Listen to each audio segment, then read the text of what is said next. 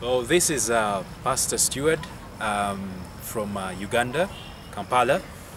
Um, we've really, really been blessed. Uh, these uh, days we have been together with Pastor Timothy Yip, uh, all the way from Hong Kong. Uh, we want to thank you so much, Pastor Yip and the entire team that really have been of support to his ministry and seeing him come and bring the good news of the gospel here in Africa and in Uganda in particular. We have been really greatly enriched and blessed, and we are really, really grateful and thankful to God. Um, people's lives have been impacted and transformed and changed.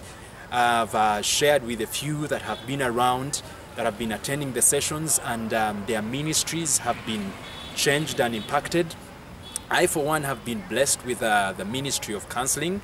That area, he talked about several things on how to handle people, on how to talk with people, relate with people, which was really, really eye opening, uh, which has uh, not been so common here in uh, our interaction as leaders with the people. Talked about relationships, which was really eye opening. So, Pastor Timothy Yip, thank you so very much. We are grateful and we anticipate seeing you back here in Uganda and in Africa so many more times. Thank you very much. You are blessed. Shalom. Thank you. This is Pastor Washington Aseka from Kenya, and the Lord has been faithful unto my life. I want to thank God because of his servant, Pastor Timothy Yip from Hong Kong. He has been visiting Kenya, he has come in Kenya for several times. He has trained leaders, and people are being blessed there because of the teachings he has been coming with. We understand that it's Lord who has been downloading these teachings from from the from from God to pastor and he has trained people especially in terms of having a good relationship and staying in a relationship with God.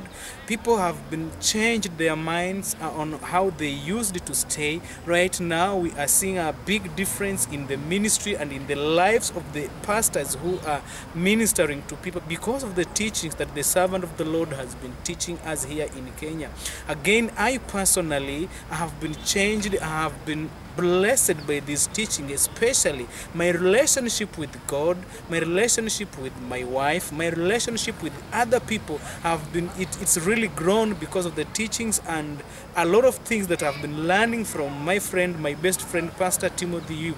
How I pray that the Lord will continue to use him so that he can reach so many people. We pray journey mercies when he goes back to his nation, that the Lord again will continue to bless his family so that again he will come and continue to bless us. God bless you and God bless you all who gave him support to come here to preach the gospel. We pray that the blessings of the Lord will be upon their lives. Shalom. Shalom, friends. Praise the Lord. Glory to God. My name is Pastor George Mukiriza, right here in Uganda, Light Embassy Sanctuary. We want to bless the Lord for bringing us his choice servant, Pastor Timothy Yip to come and train our people, train the pastors and leaders here in Uganda. It's been a wonderful, wonderful time. Uh, he has, uh, uh, through his teachings, we've been able to uh, go deeper in our relationship with God. We have learned a lot concerning ministry, concerning dealing with our people, which is very helpful in leadership. And uh, he has talked a lot about uh, handling people, uh, strategies of how to minister and effectively reach more people and even do missions in many countries and parts of the world to be a blessing to other people. He has also uh, talked a lot about relationships uh, concerning marriage, preparation for marriage, dating. It's been a wonderful experience. He has also talked a lot about fellowshipping with the Lord.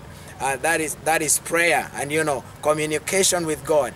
Uh, his sharing has been life changing because he has been teaching us of how to take God as a real father and share with him just as uh, a child shares with the father. And so we have uh, really been enriched by this heart and with his training. And we pray that the Lord will bring him over and over again to this nation to be uh, continue being a blessing to pastors and leaders in this in this land. We thank him so much and we thank God for his life shalom